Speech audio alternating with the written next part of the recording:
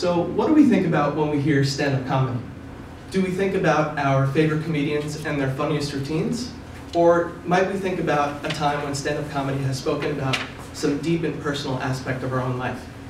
Or we might even question how stand-up can make us feel both deeply uncomfortable or happily relieved, like when we tend to laugh it off after a tense disagreement. What I've found is that this wide range of feelings that take place during stand-up comedy should be a signal to us that it's a deeply political activity that should be assessed seriously and as more than just a joke. Uh, sorry. Um, here I apply uh, critical theories of race, gender, and sexuality from the fields of sociology and cultural studies to uh, consider the deep political meanings of stand-up comedy and uh, and to do so in order to frustrate the prevailing assumptions that exist that say that stand-up uh, should not be taken seriously. Uh, what I show instead is that uh, what I show instead is that uh, the behaviors and narratives that take place during stand-up, like comedians' jokes and audiences' laughter, are part of a deeper structure of meanings around racialized, gendered, and sexualized knowledge. And this is knowledge that's been constructed by institutions of power, as well as from the critical projects that contest that very power in the larger social sphere. And,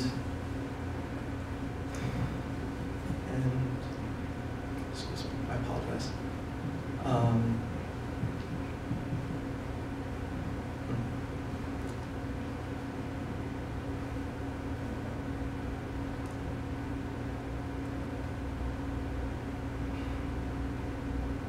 I apologize. Um, Does your slide help you if you look at it? No, unfortunately. Um,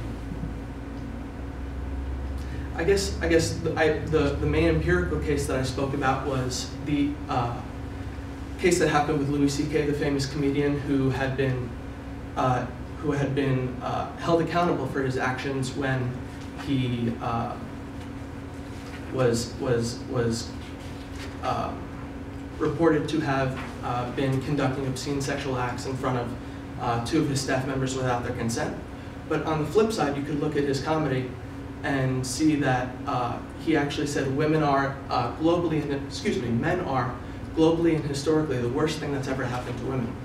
So we can look at the contradiction between what he said during his comedy and you know his very real and consequential actions uh, in person and